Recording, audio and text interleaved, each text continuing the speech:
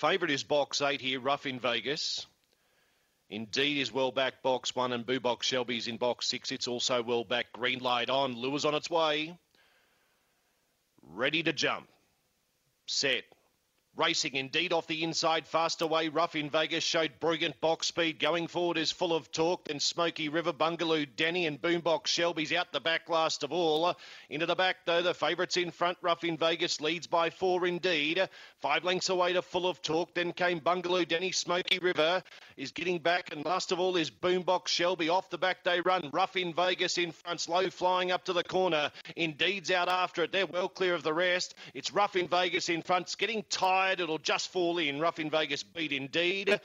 Uh, third over the line will be it's a photo. Boombox Shelby or full of talk. Next over the line then came Bungaloo Danny. Smoky River was last in at around 29.90.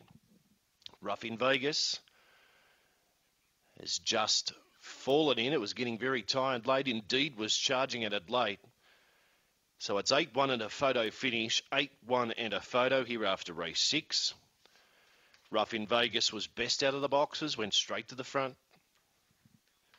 So eight defeats one. Time is 29.90. 29.90. Six is officially third. Boombox Shelby.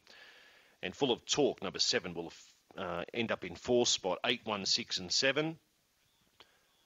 Eight, one, six, seven here. Race six, Mount Gambier. Winner scored by a neck. So it's getting tired on the line, rough in Vegas. There was a big margin between second and third.